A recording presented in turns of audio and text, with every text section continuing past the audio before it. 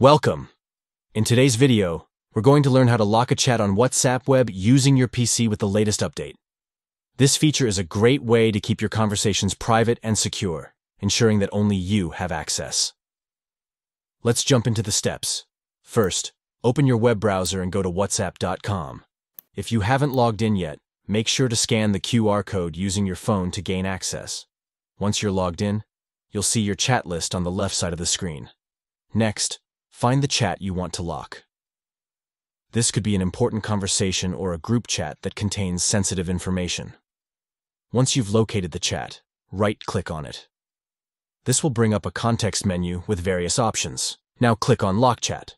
Selecting this option will initiate the locking process for that specific chat, adding an extra layer of security. After you click Lock Chat, you'll be prompted to enter a secret code. This code is crucial for protecting your chat. So choose something memorable but secure. Type in your secret code carefully, making sure it's correct. Finally, confirm the step by clicking the appropriate option. Once confirmed, the chat will be locked, ensuring that only you can view it. And there you have it.